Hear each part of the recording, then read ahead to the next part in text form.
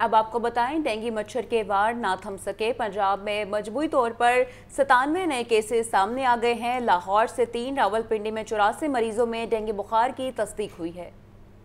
पंजाब में डेंगू के केसेस में इजाफा जारी है। 24 घंटे में मजमू तौर पर डेंगू के सतानवे केसेस रिपोर्ट। लाहौर और सियालकोट से तीन तीन और रावलपिंडी में चौरासी मरीजों में डेंगू की तस्दीक हुई। महकमे सेहत के इदादोशुमार के मुताबिक अटक और चकवाल से डेंगू के दो दो मरीज़ सामने आए हैं। गुजरावाला सरगोदा और बहावल नगर से एक एक केस रिपोर्ट हुआ है। एक हफ़्ते में डेंगू के आठ सौ छब्बीस, जबकि रवा साल चार हज़ार दो सौ सत्रह केसेस सामने आ चुके। तर्जमान महकमे सेहत का कहना है कि तमाम सरकारी अस्पतालों में डेंगू समेत दीगर अद्वियात का स्टॉक मौजूद है। ताहम शहरियों को चाहिए कि डेंगू एस ओ पीज पर अमल दरामद भी यकीनी बनाएँ।